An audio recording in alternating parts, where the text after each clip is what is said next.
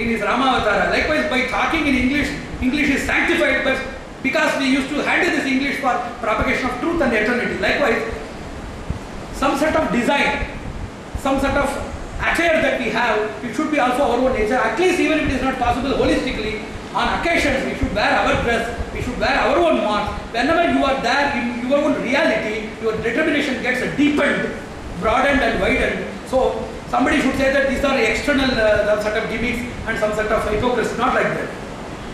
Your language, your dress, your tilak and your ways of observation, each and everything is the unit of consolidation of your belief, making you strong and staunch. So you have to do that. Uh, But there are also two types of people, paracritics and hypocritics. Those who are wearing everything but against the civilization is a hypocritic.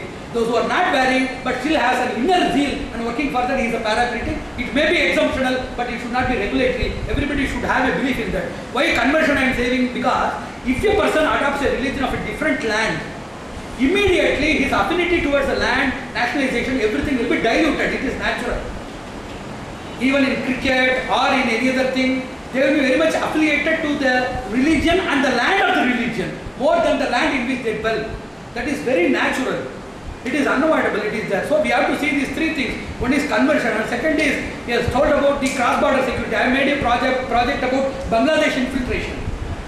I stayed there in the Brahmaputra Tira at Bandar for a few days and we noticed a lot of things like that. And I have also done some research articles and conducted two seminars on this thing.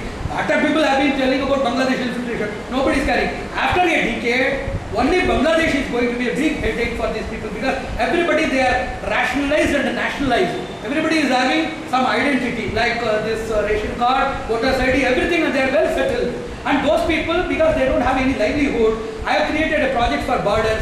In the border of Bakshar, where in Bihar, if you want to go to Nepal, if you give 50 rupees, you can go there. If you give 100 rupees, you will be carried on the soldier so shoulder. So what I have told is, you have to thicken the population of borders by constructing education institutions, industries and colonizing large people. If you are having some sort of movement of people there, then it can be really tightened.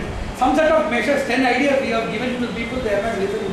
So we have to be afraid. The whole northeastern community has been neglected by all people, religious people and political people. All the religious heads there, they are stationed only at few places like Gujarat, Rajasthan and Maharashtra, which is the hub of plutocratic and aristocratic authorities. It is a plutonic center. It is center of Lakshmi. So they have totally avoided the northeastern area where it has become now the warehouse or repository of thugs, criminals, then non-state reactors, terrorists, conversion agencies like missionaries. It has been totally outruled. How they have lost most of the lands. Northeast is totally lost in spite of possession. Still it is lost because you cannot create a splendor. Holding a land, land is not your possession. Ability to instill your faith and ability to incorporate and blend with the nature of the land is the real possession. Anybody will be having a lot of possessions but not having the fortune to enjoy it. Likewise, northeast is not in our possession. It is having a geographic possession, but ontographically, psychographically, we cannot implant anything so easily there. So somebody should take that. Later on, anything that becomes a crisis, that's what I told in a seminar on crisis, everything starts with inconvenience. Everything starts with inconvenience. Then inconvenience mature into intervention. Intervention results in design transformation. Design transformation results in conflicts. Conflicts get into problems. Problems ultimately becomes crisis. We will wait till a small inconvenience becomes a crisis. Then it was there in the form of an inconvenience. You would have entered inside. That was not done by the people. These are the various things. And four pillars of our religion we have to believe. We believe our religion, there are four pillars. One is the temple. Temple is just a marketplace. Everybody can enjoy silence and solace except in temples in all places. That is the status. All Christian missionaries are centers of service. And all Islam madrasas are training centers. There is neither training nor service. Whether it is productive or destructive, that is different. But it is done or not. They have records for their actions. They have tracks for their action. Whether that is really fruitful or really altruistic or humanitarian, I don't want to explain that. That they are doing or not, that is the thing. So, temple must be the abode of three things. One is knowledge, second is worship, third is service. Come for knowledge. Mature the knowledge into worship.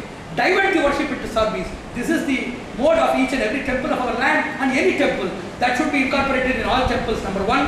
Number two, we have to incorporate rituals. The power of our ritualistic sacrifices we should believe and incorporate for world peace and gaining more power to each and every action we should do rituals that is also important. And uh, third thing is samskaras. Each and everybody, we have been born and developed in a different culture, let it be. At least 100 people from 1 lakh society. Like that there is a driver for 50 members bus. There should be social drivers, at least one member for 100 or one member for 1 lakh member. 100 people they should be taken for intensive training with samskaras along with modern education. So four pillars, one is Sannidhi, temples, second is Samskara, grooming the children, refining and reforming the children to be spiritually potent as well as to have the constitutional transcendental immunity against the growing problems of the society. Samskaras. The third thing is Havana. We have to do a lot of pujas and worships like yoga, Ayurveda. These limbs are to be practically distributed in the society. That is also very much important. And we should also believe in one system of tapasya. I have already told samskara means 100 people for 1 lakh is more than enough. If somebody is doing tapasya, one or two people is enough for the whole Bharat. Thousands of ants are biting a tree. It will take months together for trampling the tree. And a woodcutter is with an axe doing that. He may take few hours. But a ferocious titanic elephant can trample into pieces within no second. We want a trampling titanic elephant that is a person in tapasya. So at least that should be a person. Our continuous prayer for God to send a person or even if it is already available to reveal such a person to society and have the mentality to accept and serve him that should be given by God. That is the fourth pillar, tapasya. Everything is possible. What is the destination? By means of this tapasya, by means of this yaga and yoga technologies, by means of sannidhi and samskara technologies, you have to arrive at a good form of society, good form of government. Anybody getting a benefit is intermittent and interim. To form a government is the real desire, it is the ultimate desire, that is a productive desire. If you are benefited, you are only benefited for yourself for a period. If there is a government and a cyclic hierarchy of a benevolent dictator who is principled, in whose hands, if we are dominant, if there is the dominant, dominance is dangerous. But if there is a benevolent dictator in his embrace, even the enemies can enjoy the comfort. That's why Rama is known as Ripunamapi Vatsalaha. Even friends should suffer in the hands of malicious people. Even enemies can enjoy the divine rejoice and embrace in a benevolent dictator's rule. So by these four pillars of our religion, our tradition, we should pray, work for physically, intellectually and integrally and collectively to create a government in a decade or at least even a century or millennium let it be. If you are not doing the duty, you are to be blamed. If the result is not there, you can blame your fate or even God that He has not granted. But do your duty. We have to form an imperial system wherein by everybody is taken care, where there is a possible potency to convert people, to reform people. If they are not ready, at least to see that they are totally outrooted, social amputation or surgery is done so that the innocent, pious and virtuous members of the society can remain in eternal tranquility, happiness and prosperity. Narayan, Narayan, Narayan. But what I felt was, if Adhyayana is the objective, then uh, the basic identification of the conflict in the perceptions of the people living on this earth broadly has to be undertaken, which is being normally described as Western and Indian. But I feel it is materialistic and spiritual. And the difficulty is that even those who are on the side of Hindu religion, they have not understood spirituality in the true sense.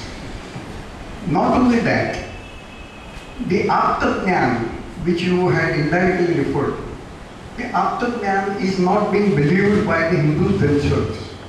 And therefore, they go by the ordinary concepts of religion and ritual, just as on parallel with the Muslims and Christians, and they are not different in any category. What I find is that the objectives of the world, the life, life has to be interpreted.